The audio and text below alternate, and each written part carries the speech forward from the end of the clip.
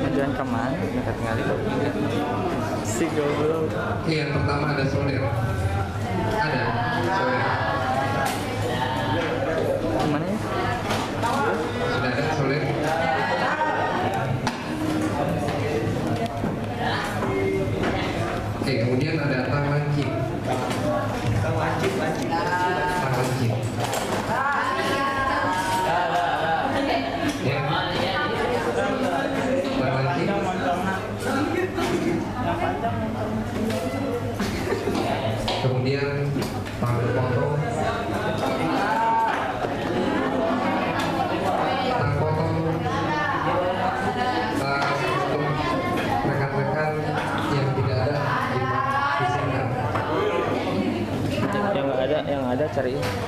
Terima semua.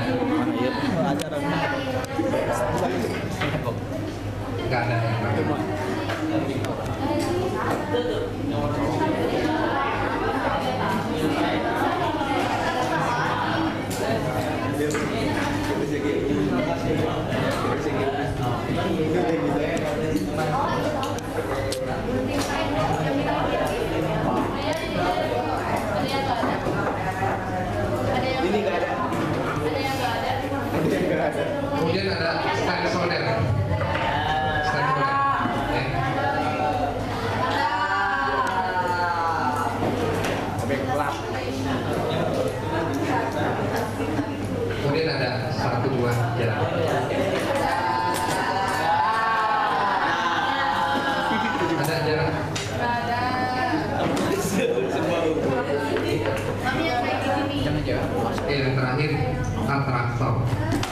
Eh bukan traktor ya? Traktor. Rono. Yang terakhir lagi kemudian ada mini trio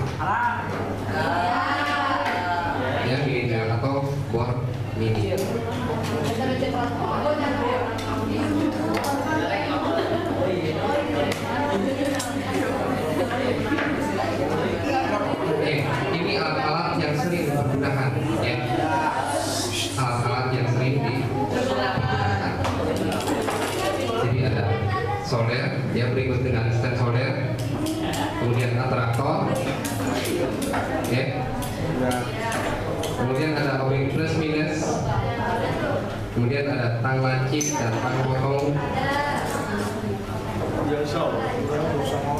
Kemudian ya. Nah kalau yang kosong, kalau yang tidak ada, ya nanti sambil berjalan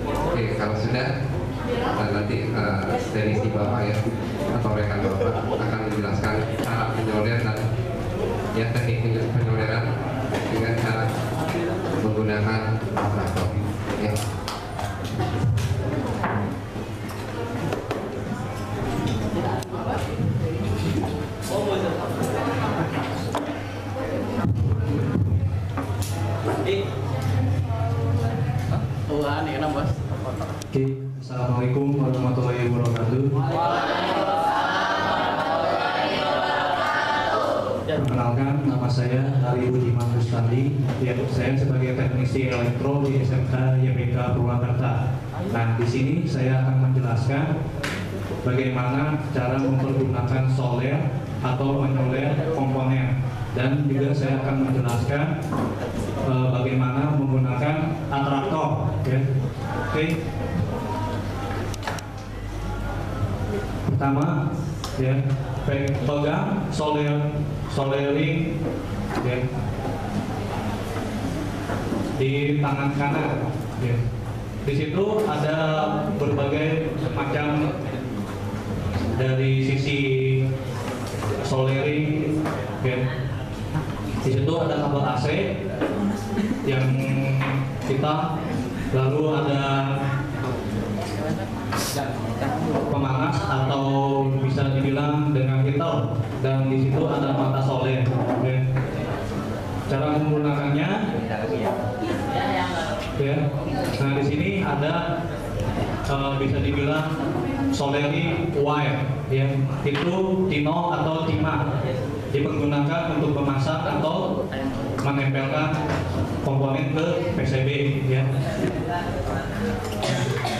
cara untuk menyoler yaitu ya pertama-tama ya pertama-tama untuk cara menyoler tempelkan terlebih dahulu mata soler ke komponen yang sudah dipasang ke PCB ya. sudutnya sampai 45 derajat kemiringannya ya. lalu kedua tempelkan soler point atau timah ya. nah lalu di sini ya tunggu sampai timah mencair ya nah cara mensolder yang baik yaitu ujung komponen tertutup dengan rapi ya. Lalu untuk tingkat kematangannya dari solder atau uh, soldering wire atau timah itu harus mengkilat itu tingkat kematangan yang bagus ya. Kalau misalkan masih kuning itu jelek. Nah, jadi untuk dari industri ya atau di sebuah pabrik cara menyoler yang baik itu ujung komponen tidak tajam pada saat dipegang atau saat disentuh ya jadi itu solder yang baik Nah, seperti ini ya cara menyoler yang baik. Jadi pertama-tama tempelkan solder, soldering, ya, soldering tip ya namanya itu. Itu cara yang baik. Terus yang kedua dilanjutkan seperti yang tadi saya bilang soldering wire atau timah ya. Nah, itu setelah terkumpul semuanya pertama setelah menyolder dengan baik cabut ya terlebih dahulu soldering wire atau pino setelah itu baru cabut soldering type ya atau solder yang dipegang di sebelah kanan ya Jadi mesin ya. Nah, di sini ada tingkat-tingkat yang benar dan yang salah. Ya. Yang benar itu seperti yang tadi diulang, ya, saya katakan komponen harus tertutup dengan rapi, ya, atau ujung komponen tidak tajam. Ya. Itu lalu yang kedua ada yang tertutup sebagian atau ujungnya masih kelihatan tajam ya. Itu soldering yang salah atau bisa dibilang rusak ya. Lalu ada cuma bagian pinggirnya saja. Nah itu kemungkinan bisa copot atau tidak menempel ke komponen yang dipasang di PCB ya. Nah, di sini yang terakhir ada atraktor ya. Atraktor yang bisa dibilang untuk membersihkan atau menyedot hasil dari soldering tadi ya. Kalau misalkan ada yang jelek, ada yang meluber atau yang misalkan tidak menempel bisa diambil ya oleh atraktor. Nah, di sini ada bagian-bagian atraktor ya. Yang ini mata atraktor atau ujung atraktor. Lalu di sini ada tombol saklar ya reset di sini. Lalu ada tungkai reset ya di sini. Nah pada saat kalian menyedot ya atau membersihkan timah ini dilakukan sebanyak tiga kali ya dilakukan sebanyak tiga kali dia Kan? Dari PCB-nya itu keambil semua ya. Soldering wire-nya. Dilakukan seperti itu. Ini biasanya untuk pencopotan atau pembersihan komponen ya yang sudah dipasang eh, menggunakan soldering wire ya atau timah. Nah, kalau misalkan di industri atau misalkan di bengkel ya itu murid-murid bisa di, biasa mengatakan tino ya. Tino itu artinya timah yang pembakarannya nol ya. Jadi cuma timah ini lemah gampang larut atau gampang mencair ya. Oleh oleh soldering type ya. Nah di itu. Nah ini ada contoh gambar Cuma pencopotan bagus ya. ya, komponen menggunakan soldering wire ya. Itu soldering wire-nya itu ya. Ini kemungkinan meluber atau ya tidak bagus ya. Jadi di sini ada soldering type dan atlator ya. Atlator itu dipegang di sebelah tangan kiri yang bagus itu ya jadi kalau misalkan di sebelah kanan itu jelek ya tingkat pen- pencopotannya atau tingkat pembersihan ya tingkat pembersihan soldering wire ya. Jadi tingkat kemiringannya pun sama seperti cara menoleh Jalan 45 derajat ya. Gitu. kalau misalkan tegak lurus itu gimana? Tidak baik ya untuk mentolernya itu atau mencopot komponen. Nah, setelah pertama-tama ya untuk mencopot komponen pada PCB yaitu tempelkan dulu soldering Ya, type iya lah. ya ke PCB atau ke komponen. Ya. Eh, maaf tadi minta solder sama komponen ya atau PCB yang udah eh, dipasang komponen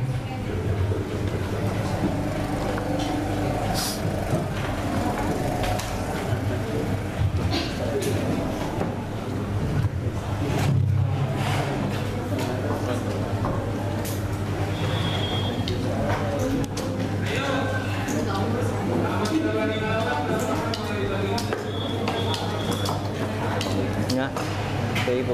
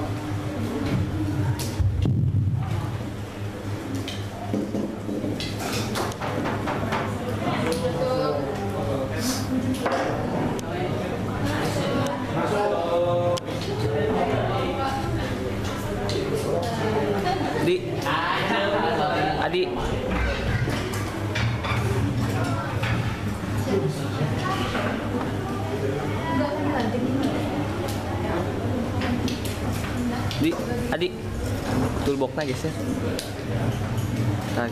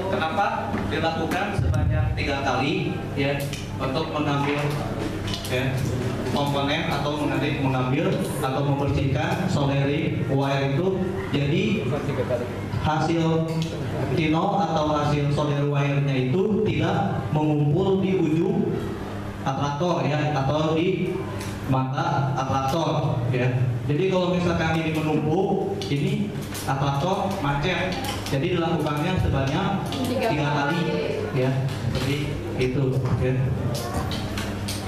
Oke. Okay.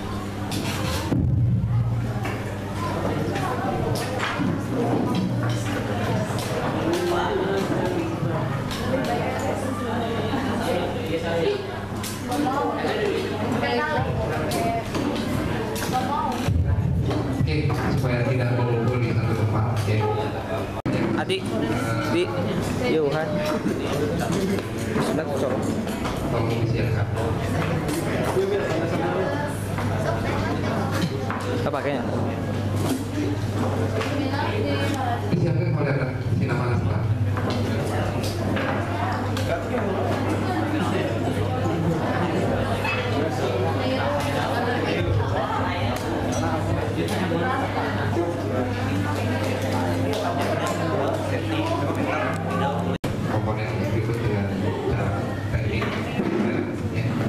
tapi sebelum nanti hari penyoleran ya, ya misalkan di sini ada sebuah PCB tolong eh, ya bapak yang sudah siap dipakai ya. kemudian siapkan komponen ya. pasti harus disiapkan dulu komponen apa sih komponennya yang mau dipasang misalnya kalau si eh, contohnya di sini adalah brake system ya Ya. Oke, kalau yang masih baru sih ini tidak seperti ini ya. Kakinya rapi. Kalau ini udah apa belak belok ya. Oke, ini diluruskan dulu.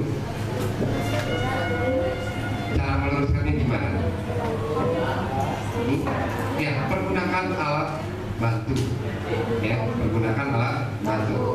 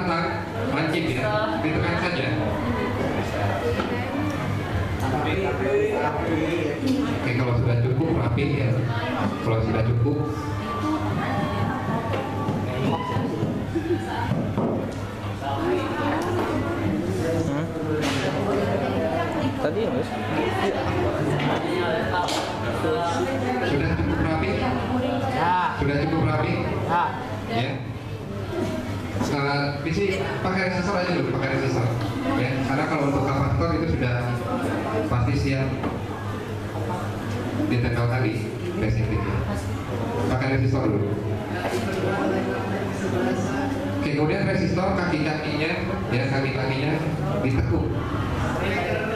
Tekuknya tetap masih menggunakan alat bantu, ya. Menggunakan tangan kiri. Ya kira-kira 2 sampai 3 mili, ya.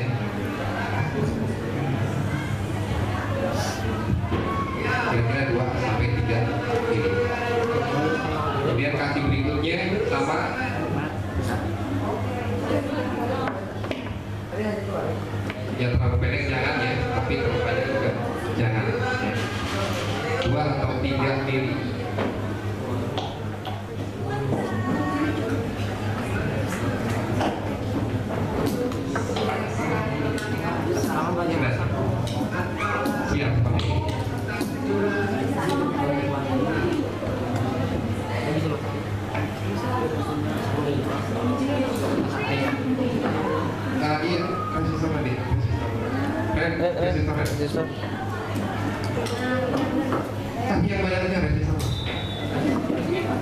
Ini Kecuali yang warna yang tadi yang merah.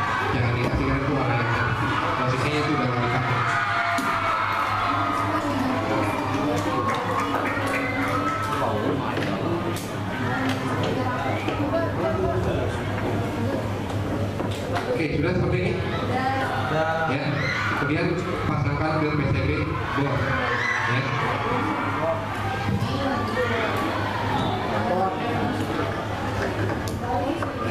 di sini ada jarak satu bol apa satu baris ya atau satu kolom satu.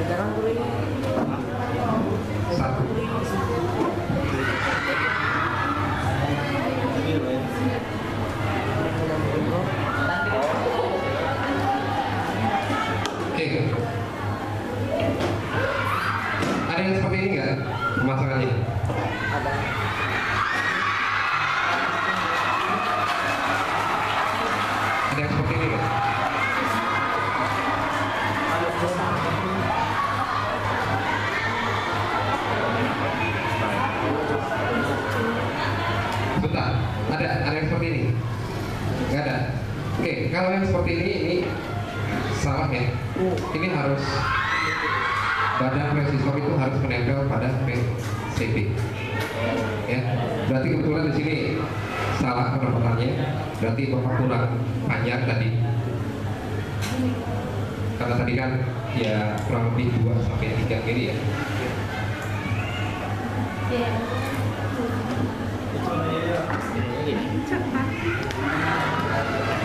Atau empat titik empat dulu ini harus menempel ya resistor badan resistor harus menempel pada PCB ya. Kemudian kalau ada yang tembaganya ini untuk nanti isolder ya. Kalau untuk eh, apa komponen ini bagian sebelah sini ya. Tapi kalau untuk nanti untuk isolder ada tem- tembaga ya. sudah seperti ini? Oke kalau sudah perhatikan ya.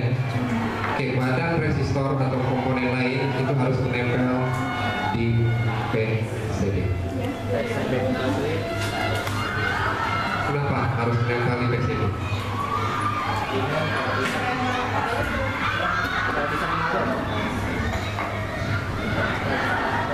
atau misalkan ada pemasangannya seperti ini. Kenapa? Yang per- yang pertama pasti kerapihan kurang bagus. Ya pasti kerapihan kurang bagus. Tapi selain kerapihan ini lama kelamaan komponen ini bisa terlepas. Ya misalkan seperti ini nah ini kan sudah disolder kemudian kegoyang-goyang ya. Ya sekali dua kali nggak masalah ya tapi kalau keseringan putus. Atau kakinya potong ya putus atau kakinya ya untuk menjaga juga ya. Eh, apa? Komponen ya. Menjaga komponen.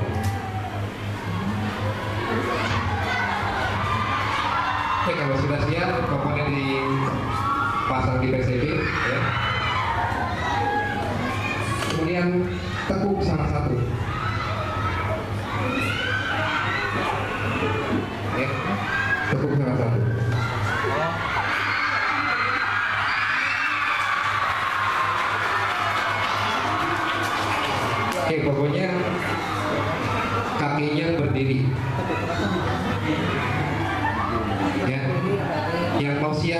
Yang siap disolder itu yang seperti ini. Ya, kenapa? Yang ini yang harus disolder atau yang seperti ini yang disolder? Kalau yang ini nggak boleh disolder. Kadang-kadang ada juga yang apa cara nyoldernya itu kakinya dalam ter, dalam keadaan terlipat. Kadang-kadang ada yang seperti itu. Kalau yang seperti itu salah. Nanti pada saat diambil timah timahnya, ya, nanti tembaganya terbawa. Ya, karena masih ada timah di bagian bawah kaki. Ya, lama kelamaan sekali dua kali sih nggak ada masalah, ya. Tembaga masih nempel, ya. Tapi keseringan nanti tembaganya terputus, ya, atau terbawa atau rusak tembaganya. Ya, jadi yang benar itu kakinya yang berdiri baru siap di.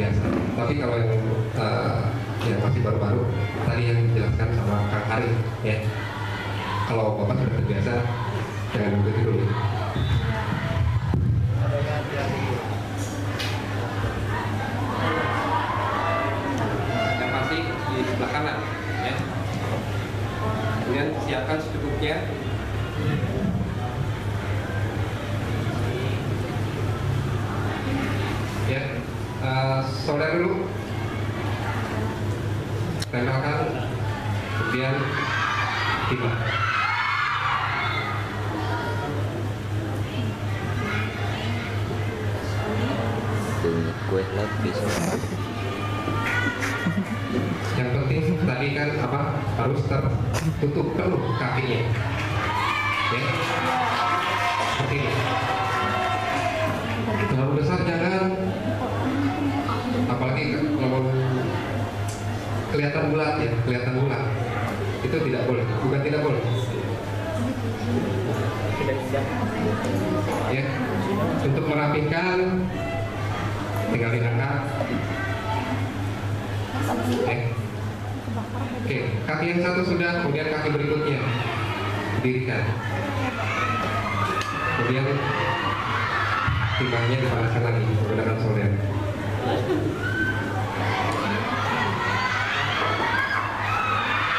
Secukupnya jangan terlalu banyak ya.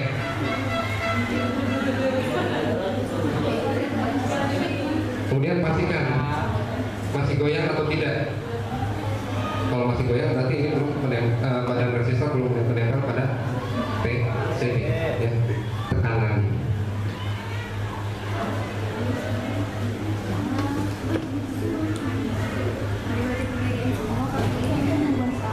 Ya kalau ini sudah tidak ya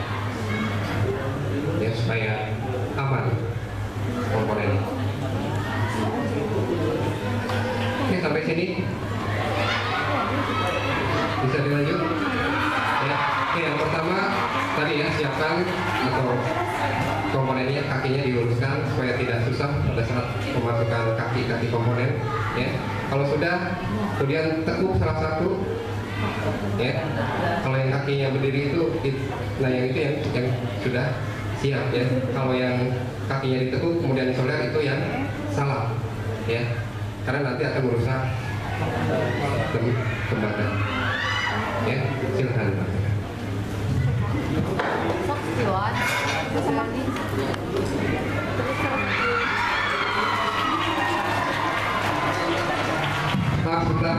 Ada yang kurang. Kalau sudah selesai kemudian dipotong kakinya ya menggunakan tang potong.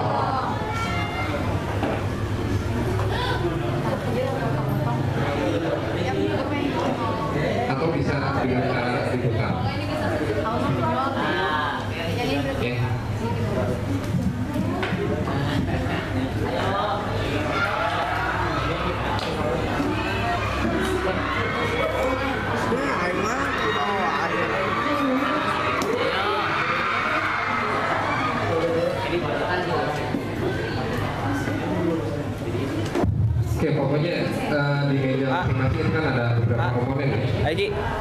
Kemudian ada beberapa kabel.